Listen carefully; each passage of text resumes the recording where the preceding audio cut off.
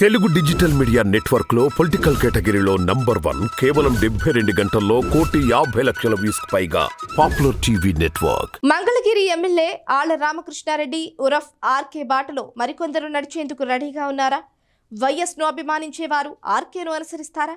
ఈ క్రమంలో తొలి అడుగు ఆర్కేతోనే మొదలైందా? అంటే అవుననే అంటున్నారు రాజకీయ విశ్లేషకులు. ఎందుకంటే ప్రస్తుతం వైఎస్ వర్గంగా ఉన్న చాలా మంది సుప్త చేతనావస్థలో ఉన్నారు. వీరంతా ఒక రకంగా చెప్పాలి అంటే వైసీపీలో ఉన్నారు. బొత్స ధర్మాన వంటి కొందరికి మాత్రమే పదవి బాక్యం పట్టింది. కానీ ఇంతకు రెండింతలుగా ఉన్న అనేక మంది తీవ్ర అసంతృప్తితోనే ఉన్నారు. ఉదాహరణకు వైఎస్తో నడిచి ఆయన మంత్రివర్గంలో చోటు దక్కించుకున్న ఉమ్మడి గుంటూరుకు చెందిన గాదె వెంకటరెడ్డి ఆయన కుమారుడు ప్రస్తుతం వైసీపీలో ఉన్నారు. కానీ వీరికి ఎలాంటి ప్రాధాన్యం లేకుండా పోయింది అనేది వాస్తవం. ఇది వైసీపీ తప్పు కూడా కాదు.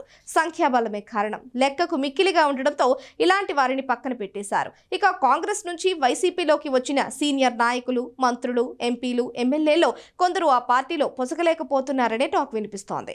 ఈ నేపథ్యంలో ఇలాంటి వారంతా ఆర్కే బాట పట్టే అవకాశం ఉందని తెలుస్తోంది. అంటే రేపు కాంగ్రెస్లోకి షర్మిల వస్తే పాత కాపులు వైఎస్ అభిమానులుగా ఉన్నవారు యాక్టివ్ అయ్యి వైసీపీని వీడే అవకాశం ఎక్కువగా ఉందనే చర్చ సాగుతోంది. ఇది ప్రత్యక్ష ప్రత్యక్షంగా పరోక్షంగా వైసీపీపై ప్రభావం చూపిస్తుందనే లెక్కలు వేస్తున్నారు. జిల్లాకు ఇద్దరు చొప్పున వేసుకున్న కాంగ్రెస్కు కీలక నాయకులు ఉన్నారు. వీరంతా వైఎస్ హయాంలోనే నాయకులుగా గుర్తింపు పొందారు. కారణాలు ఏవైనా వీరు అవకాశం కోసం చూస్తున్నారు. కాబట్టి మళ్ళీ మేము పుంజుకుంటా వీరందరికీ రెడ్ కార్పెట్ పరుస్తాం. ఇక్కడ మాకు కాంగ్రెస్ను నిలబెట్టడమే లక్ష్యం అని ఉమ్మడి తూర్పు గోదావరికి చెందిన కేంద్ర మాజీ మంత్రి ఒకరు వ్యాఖ్యానించారు.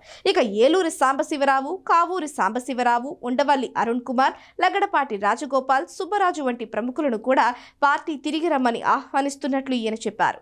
ఏదేమైనా ఆర్కే తోలి ప్రకటన చేశారని జరగబోయేది ఇదేనని ఆయన అంటున్నారు. మరి ఏం జరుగుతుందో చూడాలి.